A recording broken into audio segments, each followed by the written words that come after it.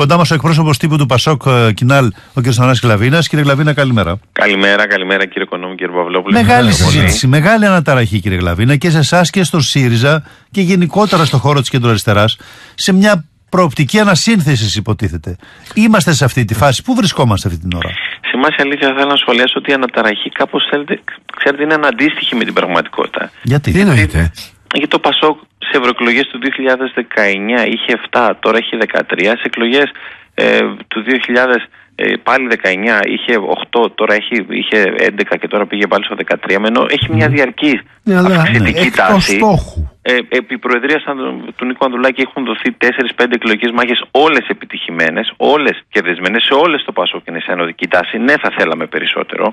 Ναι. πιστεύουμε ότι μπορούσαμε να κάνουμε περισσότερο. Ναι, θέλουμε να συζητήσουμε φυσικά, ε, αν θέλετε, και με, τα- και με τάσεις αυτο- και με αυτοκριτική και με προτάσεις βελτίωσης. Όλα να τα βάλουμε στο τραπέζι φυσικά και να συζητήσουμε πώς μπορούμε να βελτιωθούμε. Εκεί που τα πήγαμε καλά, να δούμε πώς τα πήγαμε καλά. Π.χ. λέω εγώ, Περιφέρεια Κρήτη. Όπου δεν τα πήγαμε καλά, να δούμε εκεί τι μπορούμε να κάνουμε, τι μπορούμε να αλλάξουμε και νομίζω μέσα από με τέτοια, έναν τέτοιο νησοκομματικό, επικοδομητικό διάλογο μπορούμε να προχωρήσουμε στην Κύριε επόμενη Γκλαβίνα φάση. μου, αν δώσω δεύτερη φορά παντελήνιες με στόχο να μπω στην ιατρική και την πρώτη φορά έχω γράψει 8 και γράψω 12, βελτιωμένος θα είμαι, αλλά δεν θα έχω μπει στην ιατρική. Ξέρετε, βέβαια, στην Θα είμαι πολιτική- εκτός στόχου. επειδή το παράδειγμα που βάζετε είναι με ένα απλοϊκό και ενδεχομένως έχει ένα ενδιαφέρον, αλλά Μάλιστα. ξέρετε, το Πασόκ Ναι. ξεκίνησε, έχει περάσει μια διαρκή κρίση εδώ και πολλά χρόνια. Έφτασε σχεδόν στην εξαήλωσή του.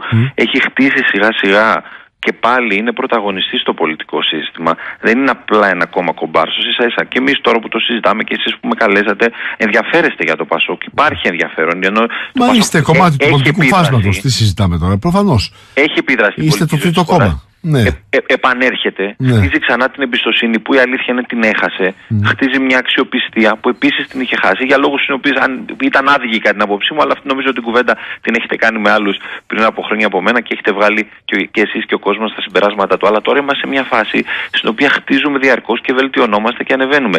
Να κάνουμε αυτοκριτική. Να κάνουμε, να πάμε στα όργανα ασφαλώς και να ακούσουμε και όλες τις απόψεις με μεγάλη χαρά. Αλλά αυτή η εικόνα της αυτοκαταστροφής ή ότι όλα είναι μαύρα, νομίζω αδικεί συνολικά ε, την παράταξη. Χτίσαμε την πολιτική μας αυτονομία. Τη χτίσαμε. Το Πασόκ με τις δικές του δυνάμεις έφτασε εδώ που έφτασε. Με τις δικές του δυνάμεις. Νομίζω από εκεί και πέρα, μόνο σε εμάς, το, το μόνο που απομένει είναι περισσότερη δουλειά. Ναι. Άρα όλα τα υπόλοιπα τα οποία έχουν, έχουν, ε, γίνονται και Δεν τα λοιπά υπάρχουν. και διατυπώνονται Δεν υπάρχουν. με πολύ μεγάλη ένταση είναι άτοπα. Είναι, είναι, ε, Όχι ε, με ένταση και συγκεκριμένα. Ναι, βέβαια. Εδώ υπάρχει μια σειρά, μια ομάδα στελεχών και μάλιστα από τα πιο προβεβλημένα Κ. στελέχη. Κωνσταντίνη το πρωί σε εμάς. Και ο κύριος Καστανίδη από τα ιστορικά στελέχη. Και ε, όλα τα, η, η νεότερη γενιά των στελεχών που λέει να φύγει ο αρχηγός, να πάμε σε εκλογές, να αλλάξουμε αρχηγό. Απλά μην τα Το λένε οι λέμε άνθρωποι. τόσο αφοπλιστικά όλοι, δεν το λένε όλοι. Αυτή, το λένε αυτή η κάποιοι. ομάδα λέω, ναι. Εντάξει, μια- Κάποιοι συγκεκριμένοι υπάρχουν και κάποιοι άλλοι Ναι, για να ναι. μην τα δικούμε, οι οποίοι λένε ότι να συνεχίσουμε και ο πρόεδρος έχει ήδη ε, προσφέρει πολλά και έχει καταφέρει πολλά στα χρόνια στα οποία είναι αρχηγός. Στα Αυτοί δυόμιση οι κάποιοι που το λένε πάντως είναι αδιάφοροι; Κανείς δεν είναι αδιάφορος. Αλλά; Όλοι έχουν τη σημασία τους και όλοι έχουν το δικαίωμα Γιατί της το άποψης λένε; και προφανώς έχουν τις απόψεις τους. Ναι. Αυτό, αυτό δεν μπορεί να το αμφισβητήσει κανείς και δικαίωμά τους να τις έχουν και να τις καταθέτουν και στα όργανα. Θεωρώ βέβαια ότι ό,τι έγινε αυτές τις δύο εβδομάδες στα τηλεοπτικά παράθυρα δεν ήταν η σωστή εικόνα. Και ο, και ο τρόπος με τον οποίο γίνεται. Θα έπρεπε Ναι, να, αλλά θέλετε συνεχίζεται αυτό, δεν να γίνει με σταματάει. ένα πιο θεσμικό τρόπο. Φυσικά ο καθένας έχει την άποψή του και φυσικά η πλειοψη- αν θέλετε, τα όργανα μας θα λάβουν τις αποφάσεις. Οι όποιες αποφάσεις φυσικά θα πάρθουν με δημοκρατικό και πλειοψηφικό τρόπο και από εκεί πέρα θα προχωρήσουμε. Ο πρόεδρος μίλησε ότι όλοι, πολιτικές και πρόσωπα, θα κρυθούν όλοι, όλα και όλοι από τη βάση, το οποίο είναι επίσης σωστό και ότι θα προσπαθήσει να συνθέσει μια άποψη την οποία θα την παρουσιάσει. Αυτό το ξέρουμε στην Κεντρική Επιτροπή τέλος του μήνα. Ακριβώς. Το πήρατε από το στόμα, την οποία θα την παρουσιάσει και στην, Κυ- στην Κεντρική Επιτροπή και πιστεύω θα είναι μια άποψη την οποία θα μπορέσουμε, η οποία θα μπορέσει να οικοδομήσει τα επόμενα βήματα της παράταξης ώστε να, να αποκαταστήσουμε, αν θέλετε, και την αναταραχή που υπάρχει και φυσικά να υπάρχει ενότητα στο χώρο που εγώ θεωρώ ότι υπάρχει ενότητα στο χώρο. Θέμα συνεργασίας τίθεται τελικά ή όχι, ή θα ε, πορευτείτε ο καθένας μόνος του. Πριν πω σε αυτό, μόνο ήθελα να πω ότι η κουβέντα πρέπει να γίνει σε πολιτικό επίπεδο. Σε πολιτικό, ναι. Έτσι Τι κι αλλιώς, κάναμε, βεβαίως. ποιες είναι οι θέσεις του Πασόκ, τι έπρεπε να γίνει, τι δεν έγινε και φυσικά να διορθώσουμε και τις όποιες ενδεχομένως οργανωτικέ αριθμίες που μπορεί να υπάρξουν σε σχέση με τις συνεργασίες. Το Πασόκ, όπως ξέρετε, λειτουργεί, νομίζω το έχει αποδείξει όλο αυτό το διάστημα, στο προσκήνιο.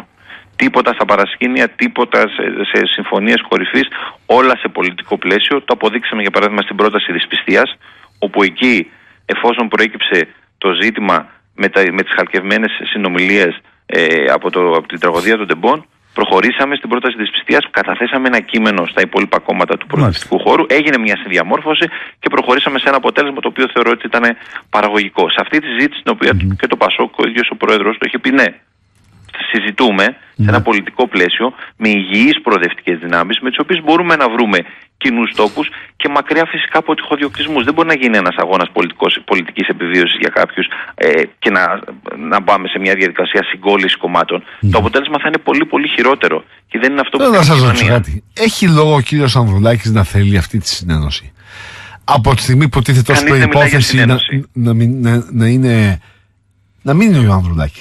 Ούτε ο Κασελάκης, αλλά κυρίως ο Ανδρουλάκη, γιατί με εσάς μιλάμε. Για τον Κασελάκη θα ρωτήσουμε το στο ΣΥΡΙΖΑ.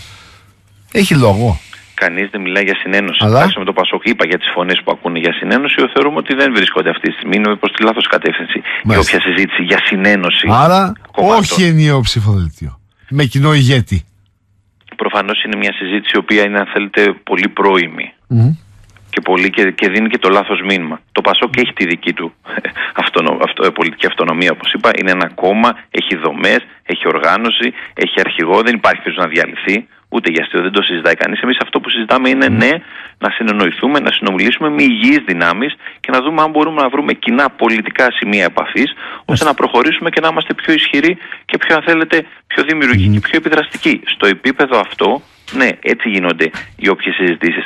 Αν μπούμε σε μια ζήτηση, να συγκολήσουμε τα κόμματα, να κάνουμε μια δημιουργική αριθμητική, 4 και 3 κάνει 7, θα κερδίσουμε το 5, νομίζω έχουμε χάσει και όχι μόνο έχουμε χάσει, θα δημιουργήσουμε και πολύ πιο καταστροφικά αποτελέσματα. Ενδεχομένως να, να, να, βγάλουμε τον, τον κύριο Μητσοτάκη ακόμη μια φορά λάδι, ο οποίος τρίβει σίγουρα τα χέρια του μέσα από όλες αυτές τις συζητήσεις και δεν συζητάμε κι εμείς τώρα για την ακρίβεια, για όσα πρέπει να κάνει ο κύριος Θεοδωρικάκος, αλλά δεν νομίζω ότι θα τα κάνει για τα ζητήματα της αγροτικής και κτηνοτροφικής παραγωγή που είναι τεράστια, όπου και εκεί άλλαξε ο πέμπτος συνεχόμενος υπουργός. Η κυβέρνηση δεν μπορεί, mm. κανένας υπουργός του Υπουργείου Αγροτικής Ανάπτυξης δεν μπορεί ε, να μακροημερεύσει, γιατί η κυβέρνηση δεν έχει κάποιο συγκεκριμένο σχέδιο και όλα όσα μας απασχολούν. Κλείνουμε εδώ. Να, νομίζω εκεί θα έπρεπε να επικεντρωθούμε και εκεί είναι και η δική μας συζήτηση με τις υπόλοιπες mm-hmm. δυνάμεις στα μεγάλα πολιτικά θέματα. Ευχαριστούμε πολύ κύριε Γλωβινά. Καλημέρα. Καλημέρα. καλημέρα.